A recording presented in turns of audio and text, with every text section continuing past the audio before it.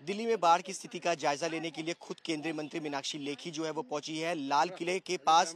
हमारे साथ खुद यहाँ पर मीनाक्षी लेखी जी मौजूद है। मैम, पूरी तरफ़ पानी ही पानी लाल किले के पीछे और आगे की तरफ़ नज़र आ रहा है। किस तरीके के हालात हैं? क्या कुछ आपने देखा है फ़िलहाल? देखिए तीन दिन से यहाँ पानी है और अभी जो अव्यवस्था देखने को मिली है उसमें ये था कि कल तक यहाँ जो है चार पाँच फुट पानी था, पाँच छः फुट पानी था, लेकिन आज वो दस बारह फुट पानी है। और जो आधी बस डूबी हुई थी वो आज पूरी की पूरी डूबी हुई है।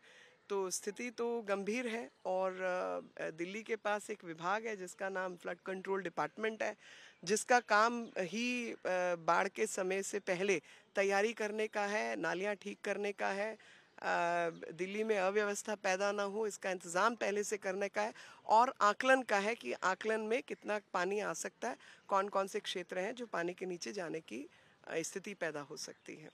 मैम पानी जिस तरीके से इस बार आया है तीन मीटर ऊपर है पूरे निचले इलाकों के अंदर बाढ़ का पानी जो है वो नज़र आ रहा है। किस तरीके की लोगों के पास जो सुविधाएँ होनी चाहिए वो नहीं है कहाँ तक मदद पहुँचाने की कोशिश जो है वो सरकार की तरफ़ से देखिए जो सरकार की तरफ़ से काम नहीं हो रहा और तकलीफ़ इसी बात की है। मैं नहीं कह रही कि बाढ़ को रोका जा सकता है या लेकिन आप पहले उसकी सूचना जो है वो दे सकते हैं।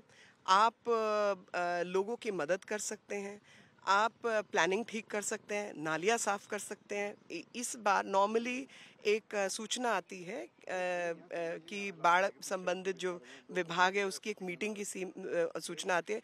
इस बार वो सूचना भी नहीं आई और मुझे मालूम है कि पहले जो फ्लड कंट्रोल डिपार्टमेंट में जब भी मीटिंग होती थी तो हम राजनीति से ऊपर उठ के उनमें जाते थे।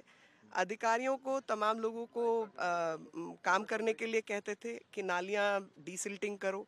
जो डीसिल्ट करके जो सिल्टिंग है उस सिल्ट को उठाओ ताकि वो वापस पानी के साथ ना, बह ना जाए। अ, प्लास्टिक की वेस्ट को अलग करें क्योंकि वो नालियों के मुँह पर जाकर उसको रोकती है। अ, अगर कोई इलाके बाढ़ से प्रभावित होने वाले हैं, खासतौर पे यमुना के आसपास वाले उनको खाली करवाओ ताकि कोई डूबे नहीं पशु और व्यक्ति जो भी हैं, उनको वहाँ से बचाया जाए।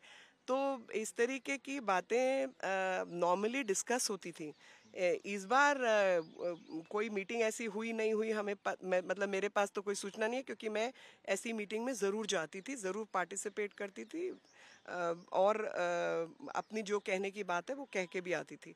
दूसरा मेरे को ये भी पता चला है कि जो फ्लड कंट्रोल डिपार्टमेंट का बजट है उसका इस्तेमाल गैर नियमित तरीके से किया गया है एम के बोर्ड्स लगाने के लिए।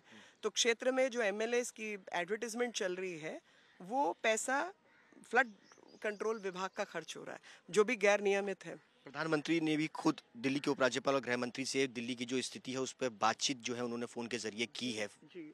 देखिए वो तो जो भी अ, अ, अ, जो भी व्यक्ति कंसर्न है जनता के लिए, जो भी उसके मतलब मदद पहुंचानी अभी एनडीआरएफ जो है, वो आके काम कर रहा है। मेरा उसमें यही कहना है कि दिल्ली के मुख्यमंत्री का व्यवहार आप देखिए।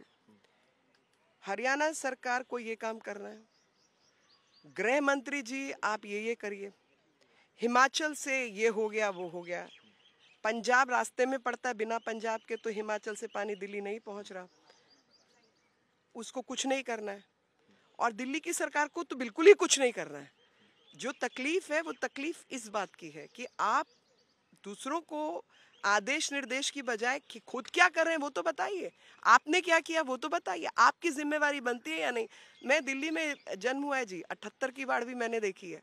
और हर साल तिलक मार्ग को डूब, तिलक ब्रिज को डूबते हुए भी देखा है, मिंटो ब्रिज को डूबते हुए भी देखा है। जिनकी आपको पता होता है, आप जब कहते हैं ना कि ये तो 48 साल बाद हुआ, भाई साहब ऐसा नहीं है। हर साल इलाके डूबते हैं, हर साल तकलीफ़ होती है।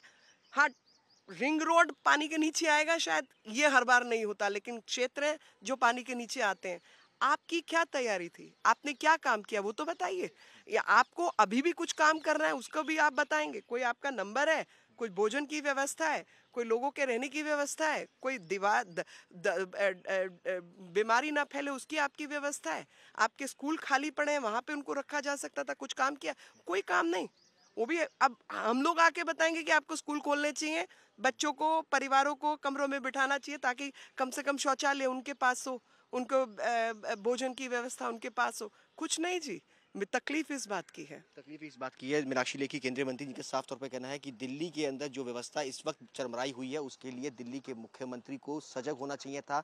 इस तरीके की आपदा को लेकर के उनको सोचना चाहिए था कि क्या हालात है। एक तस्वीर आपको दिखा दे कि लाल किले के अंदर से ये तस्वीरें लाल किले के बाहर की किस तरीके से पूरी सड़क जो है वो लबालब इस वक्त पानी से नज़र आ रही है। चारों ओर लाल किले का ये नज़ारा है। अंदर से की तस्वीरें की पूरा रिंग रोड पानी से इस वक्त जो है वो भरा हुआ है खुद केंद्रीय मंत्री इस वक्त जो है वो इन इलाकों में पहुँची है दौरा करने के लिए। कैमरा पर्सन लोकेंद्र पांडे के साथ सुशांत मेरा दिल्ली, आज तक।